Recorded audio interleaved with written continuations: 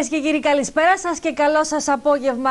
Είμαστε 32 λεπτάκια πριν τις 5 και αυτό το απόγευμα του Μαΐου και συγκεκριμένα 22 Μαΐου σήμερα θα είμαστε μαζί για να τα πούμε παρούλα μέχρι και τις 5 η ώρα ακριβώς. Λοιπόν, και σήμερα στην Ατζέντα 24 θα ασχοληθούμε με το θέμα το οποίο σας το παρουσιάσαμε και εχθές. Προσπαθήσαμε να φωτίσουμε και να αναδείξουμε διάφορες πλευρές του ζητήματος που αφορά στην δωρεά οργάνων, καθώς όπως σας είπαμε, 1 ε, Ιουνίου, σε λίγες ημέρες δηλαδή, μπαίνει σε εφαρμογή ο νέος νόμος που ψηφίστηκε το 2011 επί του κυρίου Λοβέρδου όταν ήταν Υπουργός Υγείας.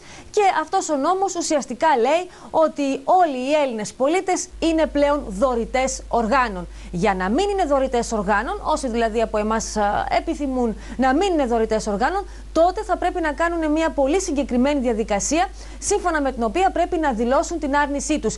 Εάν δεν κάνουν αυτή τη διαδικασία, ουσιαστικά α, θα είναι δωρητές ε, οργάνων. Τώρα, είναι ένα ζήτημα, όπως είπα και χθες, όπως το έχουμε πει βέβαια και πολλές άλλες φορές, πολύπλευρο, πολυδιάστατο. Μιλάμε για μια πράξη, οι περισσότεροι σίγουρα θα συμφωνείτε μαζί μου για την υπέρτατη πράξη, για το ίστατο, για το πιο σπουδαίο, για το πιο μεγαλειώδες από θέμα που μπορεί να κάνει ένας άνθρωπος προς τον συνάνθρωπό του, να μπορεί δηλαδή ένας άνθρωπος να χαρίσει ζωή ε, σε έναν συνάνθρωπό του. Είναι όμω ένα θέμα το οποίο βάζει και προβληματισμούς, βάζει και πολλά ερωτήματα για το πώς τελικά θα κινηθούν τα πράγματα από εδώ και έπειτα και τελικά τι αλλάζει επί της ουσίας με τον νέο νόμο. Λοιπόν, εχθές φιλοξενήσαμε τον διευθυντή της ε, πνευμονολογικής, τον ε, Εχθές λοιπόν φιλοξενήσαμε τον κύριο Άννη Πνευματικό, τον διευθυντή της ε, Μονάδας Συντατικής ε, Θεραπείας. Ο κύριος καθηγητής εχθές μας έδωσε τη δική του άποψη, τη δική του θέση σε σχέση με τις νέες αλλαγές και τι ακριβώς γίνεται με αυτόν τον νέο νόμο που αφορά στη δωρεά οργάνων. Σήμερα όμως θα κάνουμε μία προσπάθεια να φωτίσουμε και την άλλη πλευρά αυτού του ζητήματος που έχει να κάνει με τους ανθρώπους που καθημερινά αγωνιούν, που καθημερινά βιώνουν το δικό τους γόλγοθά, την δική τους ταλαιπωρία, περιμένοντας ενδεχομένως και χρόνια ολόκληρα ένα μόσχευμα. Στην τηλεφωνική μας λοιπόν γραμμή έχουμε σήμερα την χαρά και την τιμή να φιλοξενούμε την πρόεδρο των νεφροπαθών Αλεξανδρούπολης, την κυρία Αμαλία Ζαρκάδη, η οποία θα μας μεταφέρει, όσο μπορεί να μας μεταφέρει φυσικά μέσα από το τηλέφωνο της, διότι αυτές οι κουβέντες σίγουρα δεν γίνονται έτσι και τόσο απλά, αλλά θα προσπαθήσει να μεταφέρει ε, την αγωνία και τον, την περιπέτεια που ζουν καθημερινά. Και φυσικά να μας πει κυρία Ζαρκάδη τι τι προσδοκούν, τι περιμένουν να αλλάξει μέσα από αυτόν τον νέο νόμο. Κυρία Ζαρκάδη, καλησπέρα σας και σας ευχαριστώ πολύ που σήμερα είσαστε κοντά μας. Καλησπέρα σας και ευχαριστώ και εγώ που μου δίνετε το βήμα να μιλήσω. Λοιπόν, είμαι σίγουρη πως είστε απόλυτα ενημερωμένοι για το νέο νόμο που σε λίγες ημέρες μπαίνει σε εφαρμογή. Είναι ένας νόμος ε, που μπορεί να πει κανείς ότι απλουστεύει λίγο την διαδικασία. Βεβαίως, όπως είπα και χτες, όπως είπα και αρχικά στην εκπομπή, ε, βάζει κάποιους προβληματισμούς, κάποια ερωτήματα. Όμως, εγώ θέλω να σταθώ στην πλευρά τη δική σας, κυρία Ζαρκάδη. Των ανθρώπων δηλαδή που καθημερινά ταλαιπωρούνται, που καθημερινά υποβάλλονται σε μια απίστευτη διαδικασία προκειμένου να βρίσκονται στην ε, ζωή και να τα καταφέρνουν ανάμεσά μας. Θέλω λοιπόν να μου πείτε ένα δικό σας πρώτο σχόλιο, έτσι, αρχικά, για το γεγονός ότι πλέον όλοι από 1η Ιουνίου θα είμαστε δωρητές οργάνων. Τι σημαίνει αυτό για σας πρακτικά; Για εμάς τους νεφροπαθείς πρακτικά σημαίνει μια ανάσα ζωής, γιατί θα μπορέσουμε να έχουμε μεγαλύτερη περισσότερες ευκαιρίες να πάρουμε ένα μόσχευμα στην πορεία. Εδώ περιμένουμε χρόνια ολόκληρα. Εγώ για παράδειγμα είμαι νεφροπαθής πάρα πολλά χρόνια. Έχω κάνει δύο μεταμοσχεύσεις και είμαι στην πορεία για τρίτη στη λίστα και περιμένω να φανταστείτε ότι είμαι στη λίστα αυτή τη στιγμή από το 2000. Από το 2000, δηλαδή 13 ολόκληρα χρόνια είστε στη λίστα; 12 χρόνια. Από το 2001 είμαι στη λίστα και περιμένω ξανά να πάρω μόσχευα. Μετά από δύο μεταμοσχεύσεις. Βέβαια, εγώ έχω και κάποια ιδιαίτερα προβλήματα που δεν με βοηθάνε τόσο εύκολα να δεχτώ ένα μόσχευμα και πρέπει να είναι ιδανικές οι συνθήκες. Αλλά παρόλα αυτά υπάρχουν παιδιά τα οποία αυτή τη στιγμή έχουν 7 χρόνια που κάνουν αιμοκάθαρση και δεν έχουν πάρει ακόμα μόσχευμα. Ενώ θα μπορούσαν να έχουν αποκατασταθεί και να έχουν πάρει μια ανάσα ζωής. Ο σύλλογος αυτή τη στιγμή, κυρία Ζαρκάδη, ε, πόσους νεφροπαθείς έχει; Αριθμούμε εγγεγραμμένα 73 μέλη. Τα περισσότερα. Αλλά είμαστε περισσότεροι. Υπάρχουν και άνθρωποι οι οποίοι δεν είναι γραμμένοι στο σύλλογο. Ναι, βεβαίως, σαφέστατα. Εδώ στην Αλεξανδρούπολη. Ναι, ναι, ναι, αντιληπτό. αντιληπτό. Λοιπόν, μιλάμε για 73 ανθρώπους. Όλοι αυτοί, κυρία Ζαρκάδη, περιμένουν ένα μόσχευμα; Όχι, όλοι δεν είμαστε δυνητικά λήπτε. Ε, έτσι κι αλλιώς στη λίστα της, στην ε, πανελλαδικά είναι νεφροπαθείς είμαστε 10.000. Από αυτούς χίλιοι είναι γραμμένοι στη λίστα και είναι δυνητικά λήπτες. Έχουν τη δυνατότητα δηλαδή να πάρουν ένα μόσχευμα. Περιγράψτε μου, ε, για να μπορέσει να καταλάβει και ο απλός τηλεθεατής ε, που δεν γνωρίζει και πάρα πολύ για την καθημερινότητα την οποία εσείς βιώνετε και είναι πάρα πάρα πολύ δύσκολη. Περιγράψτε μου, σας παρακαλώ πάρα πολύ, έτσι σε γενικές γραμμές, γιατί σαφέστατα εσείς το ζείτε το πρόβλημα και ξέρετε πολύ καλά και ενδεχομένως να μπορείτε να το μεταφέρετε και με κάποιο τρόπο στους τηλεθεατές μας. Πώς είναι η καθημερινότητά σας, κυρία Ζαρκάδη, για να καταλάβουμε πόσο πραγματικά ανάγκη έχετε από ένα μόσχευμα. Όχι βέβαια μόνο εσείς, αλλά όλοι όσοι βρίσκονται στην ίδια ε, κατάσταση με εσά. Αυτό δεν μπορώ να το περιγράψω με λόγια, γιατί κάποιος πρέπει να το ζήσει για να το καταλάβει. Το να περιγράψω ότι την καθημερινότητά μου, το ότι αγωνιώ κάθε δεύτερη μέρα να πάω στο μηχάνημα για να μπορώ να πάρω παράταση ζωής, για να μπορώ να ζήσω. Φανταστείτε εσείς να ήσασταν στη θέση μου και να είχατε την επιλογή του πάω στο μηχάνημα για να ζήσω. Διαφορετικά δεν ζω. Πόσο μπορώ να ζήσω, μια εβδομάδα, δέκα μέρες. Θα με πνίξουν τα υγρά, θα πεθάνω από πνευμονικό είδημα. Είναι, δηλαδή αυτό που μπορείτε να φανταστείτε είναι πολύ περισσότερο από αυτό που σας λέω τώρα. Το αντιλαμβάνομαι απόλυτα, κυρία Ζαρκάδη. Πώ να μα περιγράψετε στο 100%. Ε, την αγωνία ανθρώπων, δηλαδή, οι οποίοι βρίσκονται σε αυτή τη διαδικασία, χωρί τα άλλα προβλήματα που αντιμετωπίζουμε με τη φθορά των χρόνων στο μηχάνημα. Γιατί το μηχάνημα είναι ένα υποκατάστατο. Δεν κάνει θεραπεία ολοκληρωτική, κάνει υποκατάσταση. Μπαίνεις στη διαδικασία να, να κάνεις μηχάνημα για να μπορέσεις να επιζήσεις. Λοιπόν, βέβαια και η μεταμόσχευση είναι μια ανάσα πνοής. Δεν είναι ουτοπία. Δεν λέμε ότι με τη μεταμόσχευση λύνονται όλα τα προβλήματα. Αλλά ο οργανισμός επανέρχεται στη φυσιολογική του κατάσταση και παίρνει μια ανάσα ζωής. Κυρία Ζαρκάδη, θα έχει πολύ ενδιαφέρον να μας πείτε ποια, είναι, ποια ήταν η άποψή σας πριν νοσήσετε, πριν σας χτυπήσει αυτή η ασθένεια την ζωή σας, θα έλεγα, την πόρτα της ζωής σας. Ποια ήταν η άποψή σας για τη δωρεά οργάνων; Ξέρατε πράγματα για τη δωρεά οργάνων ή αναγκαστικά στην πορεία και μαζί με την πάθησή σας μάθατε; Εγώ έχω μπει στη διαδικασία αυτή από πολύ μικρή, από 19 χρονών και δεν πρόλαβα να μπω στη διαδικασία της σκέψης του να ε, πώς θα ήταν να μην... Αυτό που με ρωτήσατε δηλαδή σχετικά με, τα, με τη δωρεά οργάνων. Ήμουν μικρή, ήμουν 19 χρονών όταν μπήκα σε αυτή τη διαδικασία. Ζω και αναπνέω και συνεχίζω τη ζωή μου με την αισιοδοξία ότι κάποια στιγμή θα πάρω ένα μόσχημα και θα αποκατασταθεί κάπως η κατάσταση. Βέβαια, αυτό για να γίνει. Ε, να αναφερθούμε και λίγο στη, στη σημερινή κατάσταση και στο νέο νόμο που λέτε και πώς πρέπει να αντιμετωπιστεί η κατάσταση από εδώ και πέρα. Ο νέος νόμος θα δώσει κάποια όθηση στα πράγματα, αλλά ο κόσμος έχει φοβίες. Δεν είναι ενημερωμένος. Δόθηκε παράταση να μην εφαρμοστεί ο νόμος και να εφαρμοστεί από πρώτη πρώτου του... από πρώτη έκτου του 2013 για να ενημερωθεί ο κόσμος. Δυστυχώς όμως από τα μέσα ενημέρωσης, τα κρατικά, κάτι έγινε. Ας πούμε κάποιες εκπομπές, αποσπασματικά και περιστασιακά κι αυτές. Από τα ιδιωτικά δεν έχει γίνει καμιά αναφορά και πουθενά για να καταλάβει ο κόσμος ποια θα είναι η, διαδικασία, η διαδικασία του να φτάσει ένας άνθρωπος να πάρει μόσχευμα.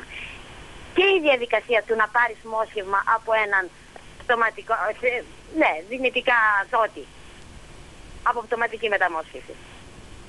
Όλο αυτό πρέπει να το πιάσετε από την αρχή. Όλοι εσείς που ασχολείστε με τα μέσα μαζικής ενημέρωσης πρέπει να μπείτε στη διαδικασία να καταλάβετε τη φιλοσοφία και του ενός και του δότη και του λήπτη τη, τη, τη ζωή και του ενός και του αλλού. Δηλαδή ο, πρέπει να αρχίσει από την αρχή ο κόσμος να μπει και να δει πώς γίνονται αυτά. Πιστεύει ο κόσμος ότι άμα πάει στο νοσοκομείο καμιά φορά για να μπει για χειρουργείο μπορεί και να του κάνουν κάτι και να του πάρουν και τα, να του πάρουν τα οργανά Δεν γίνονται αυτά τα πράγματα. Δεν γίνονται αυτά τα πράγματα. Δεν υπάρχει τέτοια περίπτωση. Ξέρετε τι γίνεται κυρία Ζαρκάδη, ενδεχομένως εγώ συμφωνώ απόλυτα... και θα πρέπει το ρεπορτάζ που θα κάνετε κάποια στιγμή αν διαθέτετε το χρόνο να, να αρχίσει από την αρχή. Πώς γίνεται αυτή η όλη διαδικασία; Από τη μονάδα εντατικής που φεύγει ένα μόσχευμα μέχρι να το πάρει ένας λήπτης. Κυρία Ζαρκάδη, εγώ συμφωνώ, εγώ συμφωνώ απόλυτα μαζί σας ότι πραγματικά η πλειοψηφία των πολιτών, για να μην τα ισοπεδώσω κι εγώ εντελώς, δεν ξέρει, δεν γνωρίζει. Υπάρχει ένα τεράστιο έλλειμμα γνώσης και πληροφόρησης γι' αυτό και να υπάρχουν και όλα αυτά που είπατε, οι φοβίε. Δεν έχουμε ευαισθησία για, για να δώσουν οι άνθρωποι. Γιατί έχουν άγνοια και γιατί έχουν αμφιβολίες και γιατί δεν ξέρουν. Φτάνουν πολλές φορές να είναι συγγενείς τους Είπα ξύλο, κανένα δεν με φτάνει σε αυτό το σημείο. Δυνητικοί δότες να τους πλησιάζουν οι γιατροί από τις μονάδες και να αρνούνται γιατί πιστεύουν ότι ο, ο, ο άρρωστος που έχουν μπροστά τους είναι καλά και θα γίνει καλά. Δεν γίνονται αυτά τα πράγματα. Όταν σου λέει ο άλλος και πιστοποιεί τον εγκεφαλικό θάνατο, είναι τελειωμένη η κατάσταση. Θα μου πεις, το λες εσύ που είσαι από την άλλη πλευρά και περιμένεις και αγωνία θα πάρει ένα μόσχημα. Αλλά αν και εσείς δεν βοηθήσετε με την ενημέρωση και να το αναδείξετε, όλοι μαζί θα κάνουμε κάτι, θα χάνονται μοσχεύματα και θα την πληρώνουμε όλοι μας. Και εμείς που αγωνιούμε για ένα μόσχευμα και γενικότερα αυτό έχει κόστος και στο κράτος. Ξέρετε πόσο στοιχίζει μια μεταμόσχευση; Όχι, πιστεύω. Ξέρετε πόσο στοιχίζει ένας νευροπαθής στο κράτος για ένα χρόνο; Ούτε αυτό το ξέρετε. Ξέρετε πόσο στοιχίζουν εμείς οι 10.000 νευροπαθείς στον προϋπολογισμό του κράτους κάθε χρόνο; Φαντάζομαι πολλά χρήματα. Πρέπει να τα πούμε στον κόσμο. Πρέπει να τα πούμε στον κόσμο αυτά τα πράγματα. Να ενημερωθεί ο κόσμος, να ευαισθητοποιηθεί ο κόσμος. Το πιο βασικό είναι αυτό, να ευαισθητοποιηθεί ο κόσμος και να μην είναι στην άγνοια. Σε αυτό που λέτε συμφωνούν όλοι. Η σωστή ενημέρωση δεν έβλεψε ποτέ και πουθενά. Αρκεί να γίνεται με τις σωστές προποθέσει και με τους σωστούς όρους. Σαφέστατα. Και από, από όλες τις πλευρές παίζει ρόλο σε όλα τα πράγματα. Και σε εμάς που είμαστε άνθρωποι που περιμένουμε με αγωνία ένα μόσχευμα για να ζήσουμε μια καλύτερη ζωή και στο κράτος που θα έχει όφελο και οικονομικό ακόμα. Ε, βέβαια, σε, βέβαια, σε όλα αυτά που λέτε, κυρία Ζαρκάδη, ενδεχομένως να βοηθούσε σημαντικά και εσείς οι σύλλογοι, όχι μόνο της Αλεξανδρούπολης, αλλά πανελληνίως αναφέρομαι, ε, να, να βγαίνατε και ακόμη πιο μπροστά, ακόμη πιο μαχητικά. Ναι, ακόμη... να, να, μας δίνουν το βήμα. Όταν μας δίνουν το βήμα, εμείς τα λέμε. Αυτό είναι. Ότι με την πρώτη ευκαιρία θα το πω, θα το πω οπουδήποτε και αν βρεθώ. Μάλιστα. Λοιπόν, εμείς πάντως κάνουμε αυτή την προσπάθεια, όχι μόνο τώρα, αλλά πολλά χρόνια πριν, ε, κυρία Ζαρκάδη, να ενημερώσουμε όσο γίνεται πιο σωστά τους πολίτες σε ένα θέμα το οποίο είναι πάρα πολύ σημαντικό, αφορά στη ζωή μας. Βεβαίως, τώρα έρχεται αυτός ο νέος νόμος, οπότε φέρνει το θέμα ακόμη ένα βήμα πιο μπροστά. Σας είπα και πριν από λίγο ότι υπάρχουν κάποιοι Θα μπορούσε να είχε γίνει πολύ πιο πριν, όταν άρχισε να να μπαίνει η διαδικασία του νόμου και όταν ψηφίστηκε ο νόμος και να έχουν ενημερωθεί ο κόσμος φτάνοντας σήμερα στην ημερομηνία εφαρμογής του να έχει ευαισθητοποιηθεί ο κόσμος και να μπορεί να γίνεται μεγαλύτερη, να, να χρησιμοποιηθεί πλέον αυτός ο Και ξέρετε κάτι, κυρία Ζαρκάδη, το είπα χθε. πραγματικότητα δηλαδή να μπει σε εφαρμογή. Ε, το είπα εχθές και με τον κύριο Πνευματικό και είμαι σίγουρη ότι θα συμφωνήσετε. Δεν θα χρειαζόταν κανένας νόμος και καμία αρρύθμιση και καμία τροπολογία εάν πραγματικά υπήρχε μια σωστή ενημέρωση και ένας σωστός διάλογος για το συγκεκριμένο ζήτημα. Δηλαδή δεν θα έπρεπε να φτάσουμε στο σημείο να έρθει η πολιτεία, το Υπουργείο, να μας επιβάλλει εντός εισαγωγικών, αν θέλετε, το ρήμα να γίνουμε δωρητές οργάνων μέσα από ένα νόμο. Θα μπορούσε όλο αυτό πραγματικά να έχει γίνει εθελοντικά, εθελούσια, με το σωστό διάλογο και τη σωστή ενημέρωση. Αλλά όπως είπαμε, υπάρχει ένα τεράστιο έλλειμμα. Βεβαίως, βεβαίως. Σας ακούμε πάρα πολύ καλά, κυρία Ζαρκάδη. Έλεγα λοιπόν ότι υπάρχει ένα τεράστιο έλλειμμα όσον αφορά στην ενημέρωση. Ακριβώς, ε, και, και εκεί θα πρέπει και... ενδεχομένως η πολιτεία να εντοπίσει το ζήτημα στην σωστή ενημέρωση και στο σωστό διάλογο. Α, για όλες τις πλευρές, ανεξαιρέτως. Είτε συμφωνούν θα, κάποιοι. Θα και εσείς, έστω και τα τοπικά και γενικότερα ευαισθητοποιώντας τα όλα, όλα τα μέσα μαζικής ενημέρωσης να γίνουν περισσότερες ενημερωτικές εκπομπές. Μάλιστα. Να συμμετέχουν όλες οι πλευρές. Πάντως, ε, ε, εγώ από τη, εμείς από τη δική μας την πλευρά ως Δέλτα Τηλεόραση θα κάνουμε ό,τι μπορούμε από εδώ και στο εξής για να ενημερώσουμε ακόμα περισσότερο, περισσότερο α, το συγκεκριμένο ζήτημα και το τι τελικά αλλάζει με το νέο νόμο. Αύριο, εγώ στην Ατζέντα 24 θα κάνω μια προσπάθεια να φιλοξενήσω τον πρόεδρο του Εθνικού Οργανισμού Μεταμοσχεύσεων. Α, ελπίζω ότι θα τον έχω. Θα έχω βεβαίως, ναι, θα έχω αυτή τη χαρά να τον έχω κοντά μου για να μας πει και ο ίδιος από το στόμα του να ακούσουμε αν θα πρέπει τελικά να φοβόμαστε, αν θα πρέπει να είμαστε λίγο πιο ανοιχτοί, αν θα πρέπει να κάνουμε κάποιες άλλες συγκεκριμένες διαδικασίες, να ακούσουμε τέλος πάντων από υπεύθυνα χείλη τι ακριβώς συμβαίνει με τη δωρεά οργάνων, πού βρίσκεται η Ελλάδα, γιατί όπως είπατε και εσείς, χίλια άτομα περιμένουν στη λίστα. πάρα πολύ του ΕΟΜ. Λοιπόν, οπότε, σας ευχαριστώ πάρα πολύ, κυρία Ζαρκάδη, που σήμερα ήσασταν κοντά μας. Πραγματικά καλό κουράγιο σας εύχομαι. Καλό αγώνα, γιατί δίνετε καθημερινά αγώνα α, για να ζήσετε, γιατί αυτή είναι η πραγματικότητα. Για να ζήσουν αυτοί οι άνθρωποι, δίνουν καθημερινό αγώνα και θα πρέπει η πολιτεία να τους στηρίξει με διάφορους τρόπους. Τώρα, θα παραμείνουμε στο θέμα γιατί η σημερινή Ατζέντα 24 μόνο με αυτό το θέμα θα ασχοληθεί, θα ασχοληθεί σήμερα, διότι θεωρούμε ότι πραγματικά πρόκειται για ένα εξαιρετικό θέμα, μείζον θέμα, αφού αφορά τη ζωή μας. Λοιπόν, και όπως μίλαγα και είχα μια επικοινωνία πριν από λίγο με έναν ακόμη νεφροπαθή, τον οποίο θα τον φιλοξενήσω αύριο, δεν θα σας πω περισσότερα γιατί έχει ιδιαίτερη σημασία να τον ακούσετε και να ακούσετε τη δική του μαρτυρία.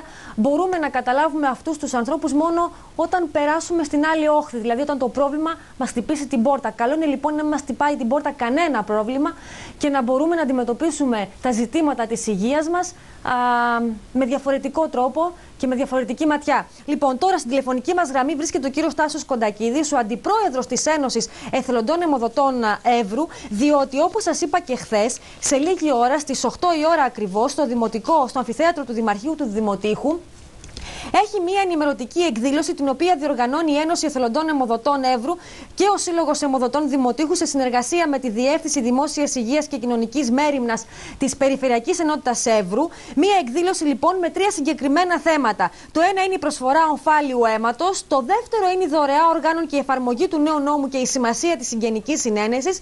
Και το τρίτο ζήτημα το οποίο θα αναπτυχθεί είναι η απειλή του καπνίσματος στον 21ο αιώνα. Όλα αυτά λοιπόν θα γίνουν σε λίγη ώρα στις 8 η ώρα στο Δημαρχείο αρχείου του Δημοτήχου. Όμως, εμείς με τον κύριο Κοντακίδη θα θελήσουμε λίγο, για λίγα λεπτά, να σχολιάσουμε λίγο παραπάνω τα όσα θα γίνουν σε λίγες ημέρες με τον νέο νόμο που αφορά στη δωρεά οργάνων. Κύριε Κοντακίδη, καλησπέρα σας.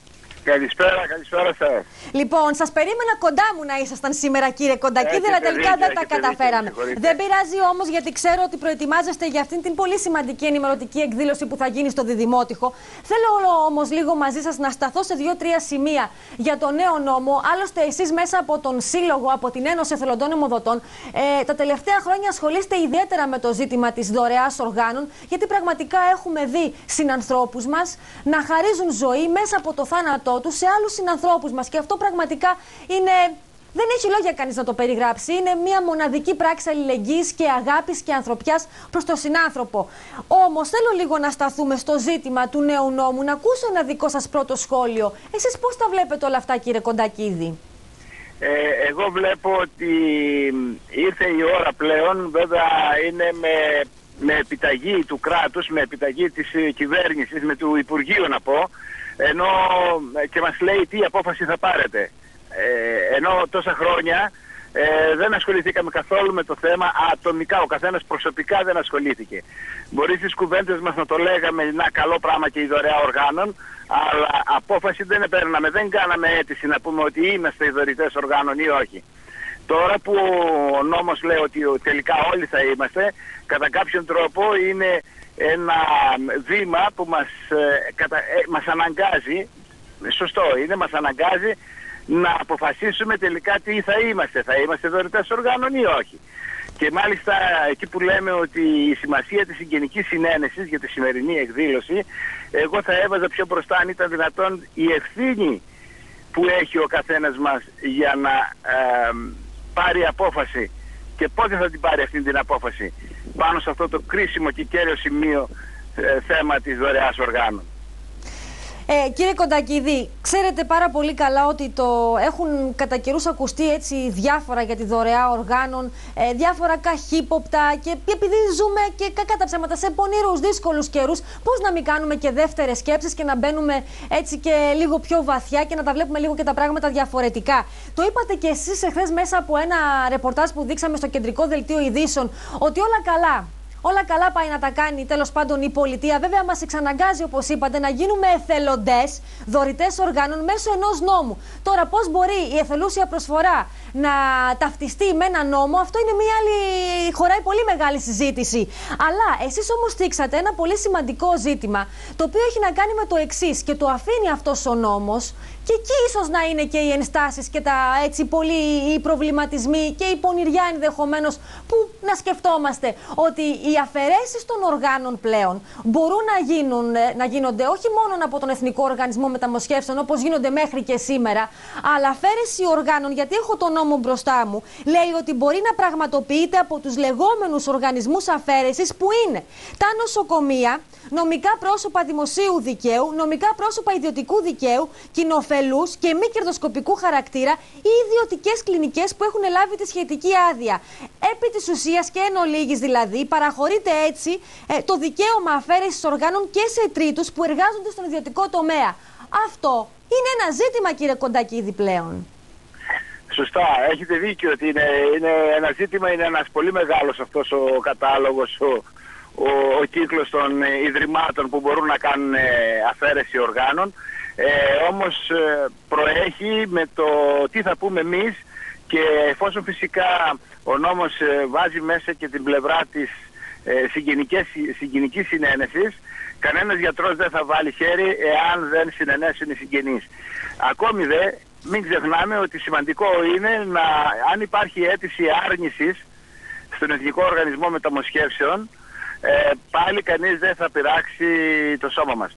Επομένως έχουμε και τις ε, λύσεις αρκεί να πάρουμε την απόφαση. Ξέρετε τι γίνεται όμως κύριε Κοντακίδη. Μας δίνει τη δυνατότητα να αποφασίσουμε. Ξέρετε όμως τι γίνεται κύριε Κοντακίδη; Τώρα θα με κάνετε να κάνω ακόμη μία σκέψη η οποία μπορείτε να μου πείτε ότι εντάξει μην την κάνεις βρε Κυριακή, μην πάθει τώρα το μυαλό σου μέχρι εκεί αλλά εγώ θα την κάνω και θα την πω και, και στον αέρα δημόσια.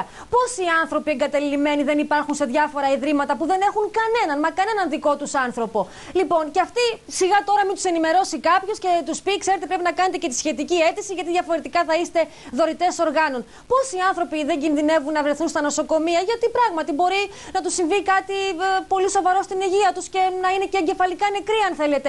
Και να μην υπάρχει ο συγγενής εκείνη την ώρα να αποφασίσει, αφού δεν υπάρχει έτσι κι αλλιώς. Τότε λοιπόν η πολιτεία αποκτά το δικαίωμα, το αντιλαμβάνεστε αυτό που λέω, ναι, να ναι. δει αυτό τον άνθρωπο ως δικό της απόκτημα, ως πράγμα, ως αντικείμενο, πώς να σας το πω διαφορετικά, και να αποφασίσει. Αυτό δεν είναι λίγο έτσι που πρέπει να μας προβληματίζει. Ε, θα θέλαμε να πάρουμε εμείς την απόφαση οι υπόλοιποι πολίτες; Και αυτό δεν είναι σωστό. Και αυτό δεν γίνεται. Ε, την απόφαση εκείνη τη στιγμή την παίρνουν ενώπιον Θεού και ανθρώπων ε, οι επιτροπές των γιατρών.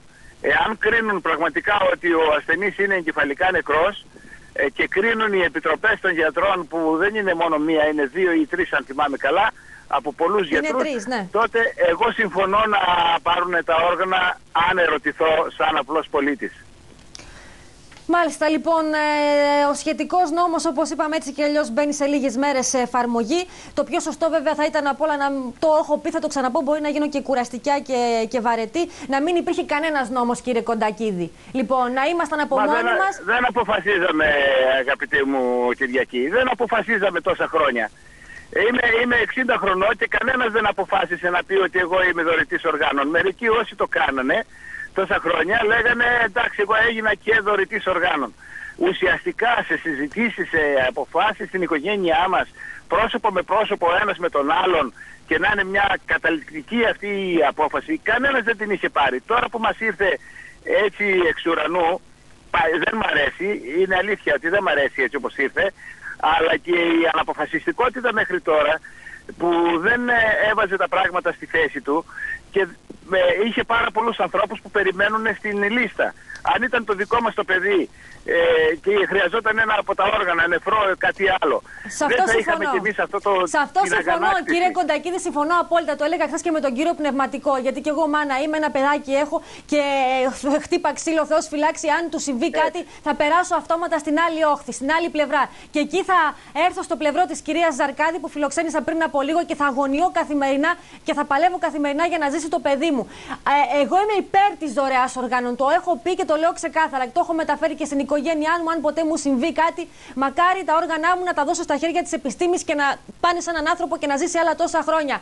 Αλλά Διαφωνώ ενδεχομένως με τον τρόπο που πάει να εφαρμοστεί ο νόμος. Εκεί έχω ένα μικρό ζητηματάκι και φαντάζομαι μαζί με μένα και πολλοί άλλοι πολίτες. Γιατί δεν σας το κρύβω, από τη μέρα που το βγάλαμε αυτό το θέμα και είπαμε ότι 1η Ιουνίου ξεκινάει ο νόμος, έχουμε δεχτεί πάρα πολλά τηλεφωνήματα ανθρώπων που είναι υπέρ της δωρεάς οργάνων και εκεί φοβάμαι ότι ενώ τα τελευταία χρόνια έγινε μια προσπάθεια, υπήρξε μια σχετική αύξηση, πολύ μικρή θα μου πείτε, των ανθρώπων που έδωσαν τα όργανά τους. Μήπως όλο αυτό τους πάει λίγο πίσω. Δεν ξέρω. Γι' αυτό λέω, ναι. με προβληματίζουν πολλά πλέον. Ε, λοιπόν, θα σας αποδεσμεύσω. Πολλές, Κλείστε, πείτε μου. Πολλέ έχουμε συζητήσει μεταξύ μας ε, και λένε κρίμα μωρέ αυτό το εφόσον πέθανε που πέθανε σκοτώθηκε σκοτώθηκε αυτό το νέο παιδί γιατί δεν πήρανε τα όργανα; Έχετε δίκιο κύριε Κοντακίδη. Αλλά ας είναι απόφαση του ιδίου καθαρά και της οικογένειάς του. Α μην υπάρχει κανένας νόμος στη μέση.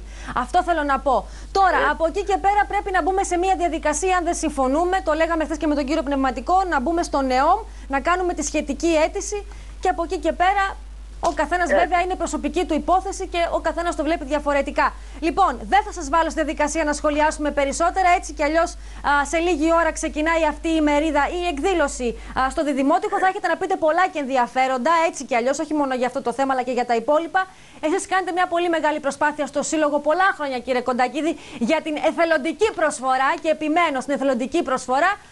Α ελπίσουμε ότι θα υπάρξουν κάποιες έτσι διευκρινήσεις όσον αφορά στον νόμο για να φύγει και η κακή σκέψη από το μυαλό μας γενικότερα. Λοιπόν, Σας ευχαριστώ πάρα πολύ, κύριε Κοντακίδη. Τώρα, μαζί μας τηλεφωνικά βρίσκεται και ο κύριος Κώστας Μαυροματίδης, είναι ο διευθυντής της ε, νεφρολογικής μονάδας στο νοσοκομείο της Κομότινης, διότι με ενδιαφέρει πάρα πολύ να ακούσω από έναν επιστήμονα, από έναν άνθρωπο που ζει καθημερινά α, μαζί με τους νεφροπαθείς που αγωνία, γιατί προσπαθεί και ο ίδιος ο κύριος Μαυροματίδης να τους προσφέρει τα μέγιστα, να τους προσφέρει μια αξιοπρεπή ζωή, να τους προσφέρει όσο γίνεται το καλύτερο α, την, την ιατροφαρμακευτική περίθαλψη που δικαιούνται και βεβαίως να έχουν μια ποιότητα ζωής αυτή που τους αξίζει και τους αρμόζει. Λοιπόν, ο κύριος Μαυροματίδης είναι στην τηλεφωνική μας γραμμή και θέλω να ακούσω το δικό του πρώτο σχόλιο για όλα αυτά που συζητούμε, αλλά και για όλα αυτά που θα εφαρμοστούν σε λίγες ημέρες. Κύριε Μαυροματίδη, καλησπέρα σας. Καλησπέρα σας, καλησπέρα. Σας ακούμε πολύ μεγάλο ενδιαφέρον γιατί είστε ένας άνθρωπος που ποτέ δεν μασάτε τα λόγια σας και πολύ ξεκάθαρος και πολύ αληθινός. Θέλω λοιπόν να σας ακούσω. Λοιπόν, καταρχήν ε, πριν πω οτιδήποτε, να πω ότι εγώ είμαι δωρητής από το 84. Τώρα, είμαι, τώρα είναι 30 χρόνια. Αλλά αυτό σαν διαδικασία από τότε που έγινε το ξέραν αυτοί που ήταν δωρητές και ο έδωσα που ήταν ένας φορέας τέλος πάντων κάτι εθελοντικό ε, και κανένας άλλος. Δηλαδή αν εγώ πάθαινα κάτι και βρισκόμουν σε μια μονάδα με βλάβη τους τελέχους, δηλαδή στον εγκέφαλο που δεν διορθώνεται μόνιμη, δεν θα ήξερε κανένας ότι ήμουν δωρητής, άρα θα ήταν κάτι μάλλον δώρο άδωρο και δεν θα προσέφερα σε κανένα τίποτε. Αυτό είναι σημαντικό και το λέω γιατί. Γιατί για μένα ήταν κάτι σημαντικό όταν το έκανα και μάλιστα θυμάμαι ότι ε, έτρεμα όταν έγραφα την αίτηση γιατί υπήρχε και ο φόβος μη τυχόν μου συμβεί και τίποτε και γίνει κάτι το οποίο δεν θα ήθελα ίσως να γίνει αφού δεν θα δώσει τις αισθήσεις μου. Ωστόσο, από τότε μέχρι τώρα δεν έγινε κάτι σημαντικό στις μεταμοσχεύσεις έτσι ώστε οι άνθρωποι που περιμένουν να έχουν μια ελπίδα. Και αυτό είναι πολύ σημαντικό όταν το ζεις ο ίδιος. Δηλαδή, όταν ξέρεις, γιατί είπατε κάτι προηγουμένως και θα σταθώ σε αυτό. Ως μητέρα θα δώσετε το νεφρό σας ή οτιδήποτε θέλει το παιδί σας. Δεν είναι έτσι. Ούτε οι μητέρες ούτε οι πατέρες δίνουν τόσο εύκολα τα όργανά τους. Υπάρχουν μητέρες και πατέρες οι οποίοι μας είπαν, αφού κάναν τις εξετάσεις, πείτε στο παιδί μου ότι έχω κάτι και δεν μπορώ να δώσω το νεφρό μου. Άρα λοιπόν, σαν λαός, είμαστε λίγο ψεύτικος. Είμαστε πολύ φιλόξενοι τυπικά, αλλά στην ουσία μας είμαστε φιλόξενοι. Είμαστε πολύ καλοί γονείς, αλλά στην ουσία δεν είμαστε. Έτσι γίνεται. Τώρα, Έχουν δηλαδή, υπάρχουν περιστατικά γονέων που ενώ είπαν ότι ναι θα βοηθήσουμε τα παιδιά μας, τον δικό μας άνθρωπο. Και δύο, και δύο. Και ο ένας και ο άλλος. Υπάρχουν, αυτά υπάρχουν. Άρα λοιπόν δεν είναι γενικό αυτό που είπατε προηγουμένως. Δεν δίνουν όλοι ό,τι έχουν για τα παιδιά τους. Εντάξει, εγώ την προσωπική μου άποψη εξέφρασα, εντάξει. κύριε Μαυροματίδη. Τώρα, αν μου συμβεί και εγώ θα φανεί στην πράξη κατά πόσο είμαι συνεπής ή όχι σε αυτό που λέω, έτσι. Εγώ το, το, στο σύνολο Ναι, ναι, λέω ναι, ότι ναι, υπάρχουν πολλοί οι αντιλαμβάνομαι. οποίοι δεν είναι αυτό που λένε. Άρα λοιπόν, γιατί ο συνάνθρωπος να, φα- να είναι τόσο καλός ώστε ναι θα δώσει αν πράγματι είναι εγκεφαλικά νεκρός κλπ. κλπ. Δεν δίνουνε. Και έτσι φτάσαμε να είμαστε η τελευταία χώρα στις μεταμοσχεύσεις και είναι λυπηρό γιατί αυτό για το οποίο μιλάμε είναι όργανα ενός ανθρώπου ο οποίος αν τον αφήσουμε μηχανικά ε, ελεύθερο θα πεθάνει. πεθάνει. Δηλαδή υποστηρίζεται. Δεν είναι πεθαμένος, υποστηρίζεται από ε, η καρδιά του και τον αναπνευστικό του και ζει. Αν τον αφήσουμε θα πεθάνει. Δηλαδή αν αυτός δεν είχε τα όργανα, ε, τα τεχνητά, θα πέθαινε. Άρα λοιπόν είναι ένας πεθαμένος. Αυτού τα όργανα λέμε να πάρουμε. Άρα λοιπόν με- από έναν ο οποίος δεν πρόκειται να προσφέρει στον εαυτό του και στην οικογένειά του τίποτε, παίρνουμε όργανα τα οποία θα κάνουν κάποιους άλλους να ζήσουν. Αυτή είναι η διαφορά μας. Δηλαδή η, η προσφορά είναι ας πούμε τεράστια από έναν ο οποίος δεν έχει να ωφεληθεί τίποτε απολύτως να τα πάρει μαζί του. Στη δική σας τη μονάδα, κύριε Μαυροματίδη, πόσοι νεφροπαθεί έρχονται καθημερινά και υποβάλλονται σε αιμοκάθαρση και ποιοι από αυτούς περιμένουν ένα μόσχευμα, πόσοι μάλλον από Λοιπόν, αυτούς; κοιτάξτε, είναι ε, μαζί με την περιτονακή γύρω στους 140 αρρώστους. Αυτοί οι άρρωστοι στην πλειοψηφία τους είναι μεγάλοι. Δηλαδή, έτσι όπως ε, ε, μπορώ να, έτσι να σκεφτώ τους, τον αριθμό τους, ούτε 15 με 20 από αυτούς περιμένουν μόσχευμα λόγω ηλικίας. Γιατί όταν η ηλικία είναι μεγάλη υπάρχουν αντενδείξεις εξαιτίας της ηλικίας. Λοιπόν, αυτοί οι 20 θα άξιζε να ζήσουν με ένα όργανο με κάποιους ανθρώπου ο οποίος πράγματι δεν το χρειάζεται, είναι πεθαμένος ή, ή, ή ζει ας πούμε με τη βοήθεια των γιατρών.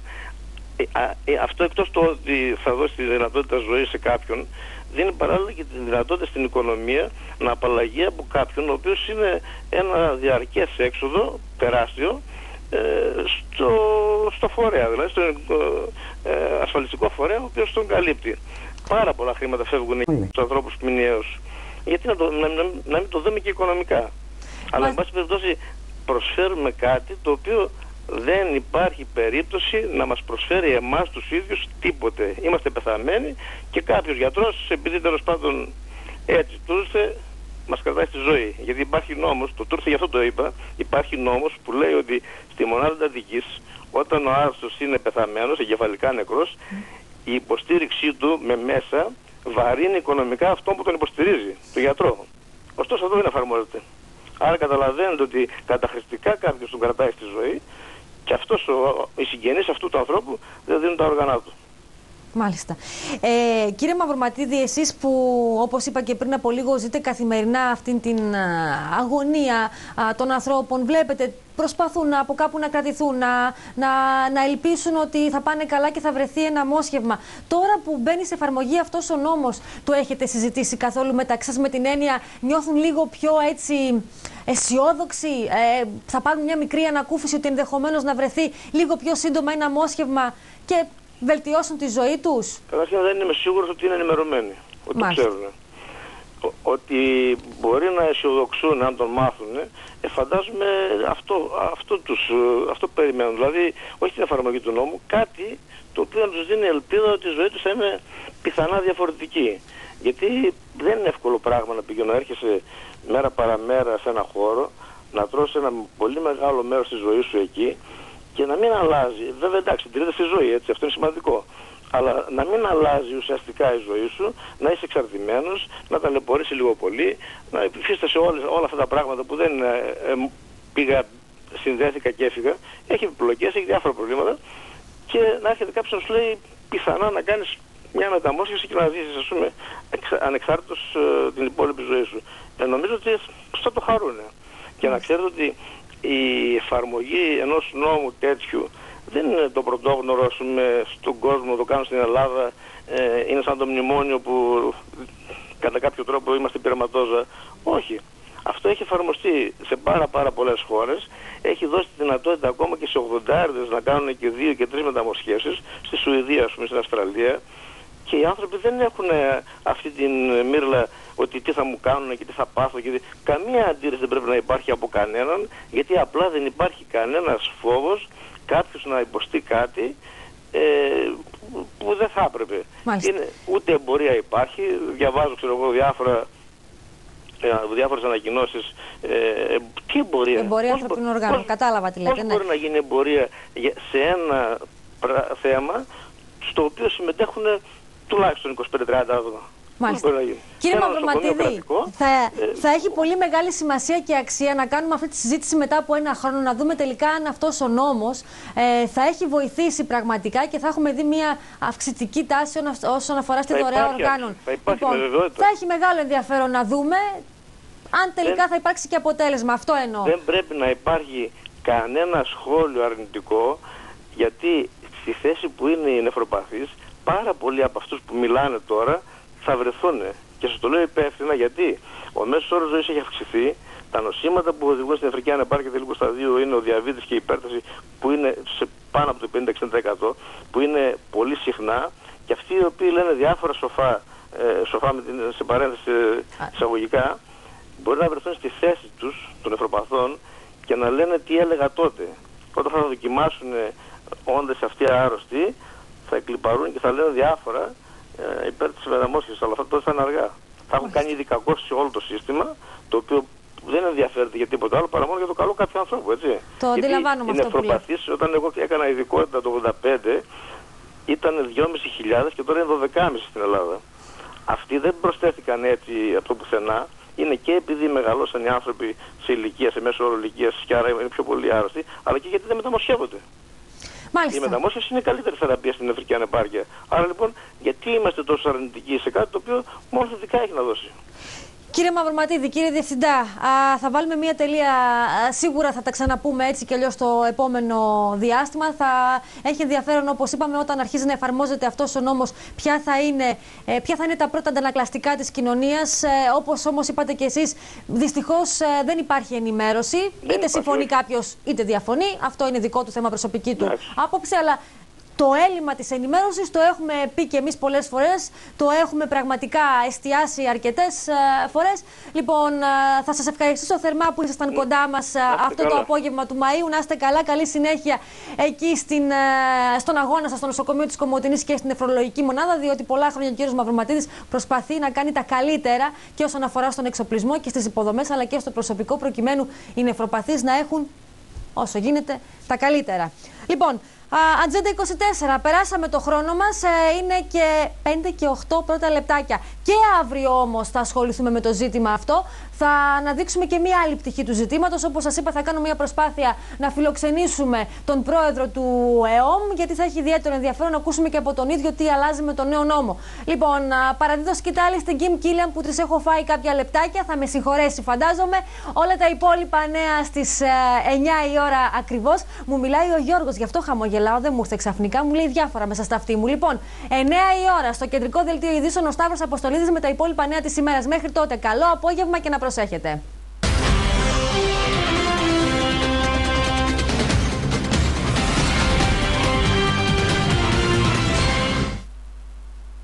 Η φύση προσφέρει τον ήλιο. Εμείς προσθέτουμε την τεχνογνωσία και αναπτύσσουμε φωτοβολταϊκά συστήματα. Vimecat Solar. Καλύψτε τις οικιακές ή επαγγελματικές ενεργειακές σας ανάγκες. Αυξήστε το εισόδημά σας με φωτοβολταϊκά συστήματα. Εγγυημένο εισόδημα για 25 χρόνια από τη ΔΕΗ. Vimecat Solar. Φωτοβολταϊκά συστήματα. Από τη μελέτη ως την αποπεράτωση του προγράμματος σας στηρίζουμε με εξειδικευμένους έμπειρους συνεργάτες. Vimecat Solar. Προσθέτουμε ενέργεια στη ζωή σας. Στη ζωή μας βάζουμε πάντα στόχους και ξεκινάμε μια μεγάλη προσπάθεια που με την εμπειρία αυτών που γνωρίζουν αποκτά προοπτική. Φροντιστήρια προοπτική με σύγχρονες, αποτελεσματικές και πρωτοποριακές μεθόδους διδασκαλίας σε νέες κτηριακές εγκαταστάσεις. Προοπτική θετικής και τεχνολογικής κατεύθυνσης και θεωρητικής κατεύθυνσης. Φροντιστήρια προοπτική. Μαζί στο δρόμο της επιτυχίας.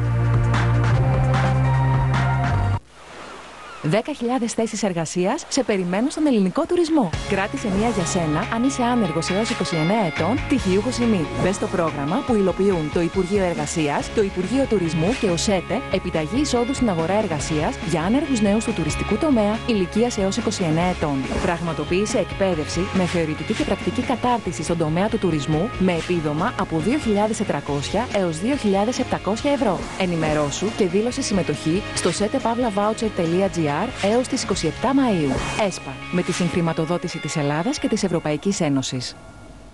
Μια δεύτερη ευκαιρία σε ένα παιδί να μεγαλώσει με ένα φυσιολογικό τρόπο σε μια φυσιολογική οικογένεια. Και όταν σας είχαμε ρωτήσει για την κατάσταση του Τόμας, είδα στα μάτια σας την... αυτόν τον, τον φόβο και την θλίψη ότι μπορεί και να μην το ξεπεράσει. Παρ' όλα αυτά, ασφαλώς πάντα υπήρχε η ελπίδα.